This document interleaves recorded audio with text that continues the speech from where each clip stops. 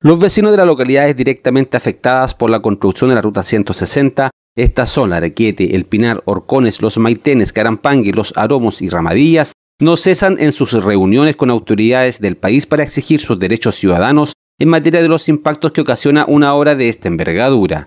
Es por eso que se reunieron esta vez con el diputado Iván Orambuena, el administrador de la Municipalidad de Arauco Christopher Parques y el concejal Gonzalo Araneda. Fueron claros y precisos en dar a conocer los avances establecidos con el ex coordinador regional de concesiones del Ministerio de Obras Públicas, Sebastián Godoy, pero también aquellos temas pendientes y que tras el cambio de gobierno esperan ser concretadas. Aquí la Ruta 160 tiene que significar desarrollo y desarrollo en igualdad y eso no está pasando en este minuto. Nosotros necesitamos, son cosas muy puntuales, vías de evacuación, sectores de salida, paraderos que se respeten a través de, todo lo que es la carretera. Eh, las vías de escape en la población El Pinar, en el sector de Chillancito, lo mencionó claramente uno de los presidentes de Junta de Vecinos, necesitan el agua potable, por lo tanto necesitan que pase por a través de la ruta la intubación de esta agua. No puede ser que el sector de Orcones, que lleva 40 años sin agua, que por fin tiene un proyecto de agua potable, no pueda ejecutarlo por la ruta 160. O sea, aquí es progreso versus abuso y no puede ser. Aquí la cosa tiene que ser progreso y desarrollo, pero para todos por igual.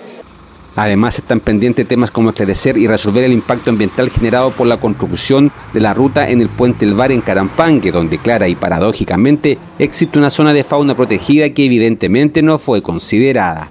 Junto a ello, dar respuestas y explicar la conectividad vial y peatonal hacia el sector cementerio y el mejoramiento del camino entre ríos de esta misma localidad. El parlamentario comprometió su voluntad de generar lazos para alcanzar respuestas. Hemos definido una ruta a seguir.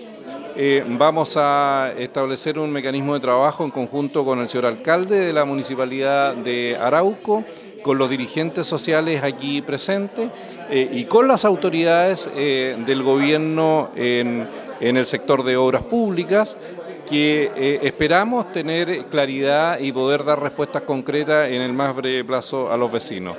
Desde el gobierno, el gobernador de Arauco, Humberto Toro, señaló que en función de una gestión provincial basada en las personas, tiene agendado realizar encuentros con los vecinos afectados. Yo me contacté ya con el gerente general de la empresa. Vamos a tener una reunión el día martes aquí en la gobernación a las 10 de la mañana, eh, precisamente digamos para que él me entregue una, una pauta, una información respecto a lo que está haciendo como empresa. Yo le voy a hacer llegar, digamos, cuáles son las preocupaciones que existen en la provincia respecto a la ruta 160. También me he conectado con algunos de los dirigentes que están vinculados a la problemática de la ruta 160, especialmente el centro de en fin, eh, a partir de la conversación que yo tenga con el gerente el día martes voy a encaminarme para allá, voy a pasar a conversar también con el alcalde de, de de tal manera que juntos podamos eh, buscar soluciones, nos encontremos con los dirigentes. Esta, esta va a ser una gestión participativa. Bajo estos compromisos, a los que se suman las gestiones realizadas por el diputado Manuel Monsalve en Santiago, tras el encuentro sostenido con ejecutivos de la concesionaria Acción a Ruta 160, es que los vecinos esperan que de una vez por todas esta mega obra vial se conecte con la esencia de la provincia de Arauco, sus personas.